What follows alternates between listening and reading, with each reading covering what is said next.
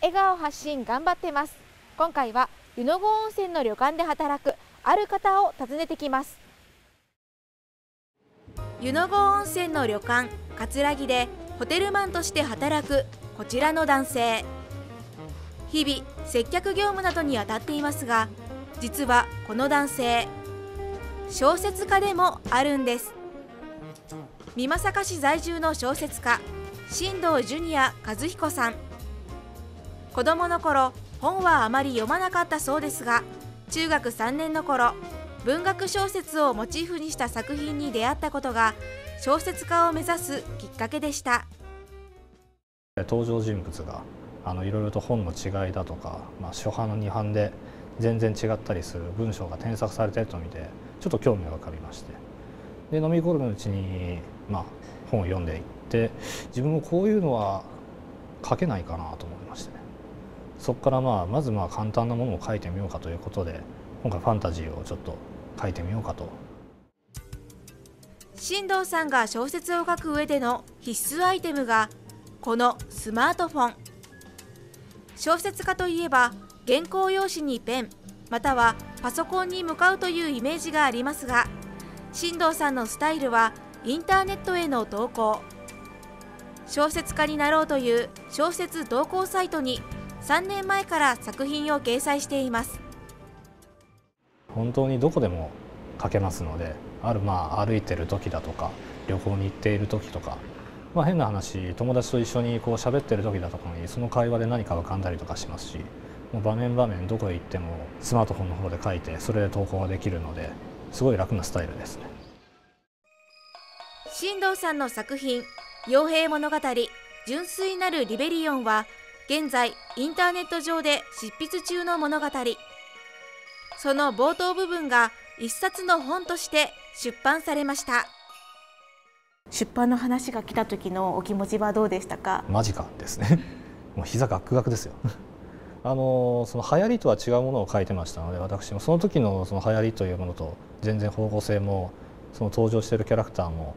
違いますのでこうやって声かけられた時には「俺でいいの?」みたいな感じでしたし人生の中でその自分が書いたものがこうやって自分の形になるっていうのはとても嬉しいことだと思います。新藤さんが書く小説はライトノベルと呼ばれるエンターテインメント小説です。傭兵物語の主人公は14歳の少年優斗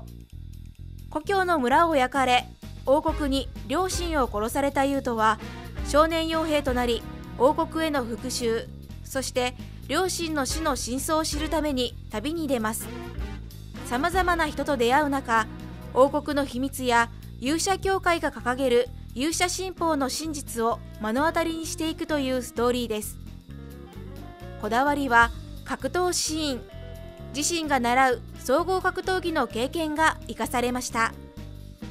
やっぱり格闘シーンですね。あの主人公もそうなんですけど仲間たちもよく都市空間といいますか戦闘でまあ自分の手足を使って戦うシーンが多いんですけれども特に主人公がその勇者と対峙する時にですねその一連の流れというのは総合格闘技の基本というのがありましてそちらをもうそのまま持ってきた感じですね経験されてる方が読むとあ確かにみたいな感じのところが何個かあるかと思います。